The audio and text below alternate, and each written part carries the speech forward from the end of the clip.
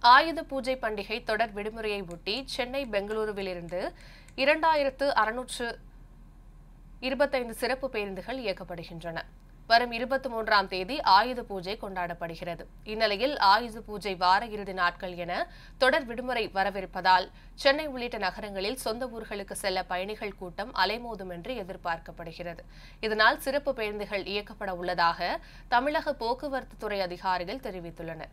தினசரி சென்னையிலிருந்து பல்வேறு பகுதிகளுக்கு இரண்டாயிரத்து நூறு சிறப்பு பேருந்துகள் இயக்கப்படும் நிலையில் ஆயுத பூஜையை ஒட்டி இரண்டாயிரத்து இருநூற்று அறுபத்தைந்து சிறப்பு பேருந்துகள் இயக்கப்பட உள்ளன. பொதுமக்கள் கூட்ட நெரிசலை தவிர்க்க சென்னை கோயம்பேடு தாம்பரம் மெப்ஸ் பூந்தமல்லி ஆகிய இடங்களிலிருந்து சிறப்பு பேருந்துகள் இயக்கப்படும் என்றும் தமிழக போக்குவரத்து துறையினர் அறிவித்துள்ளனர்.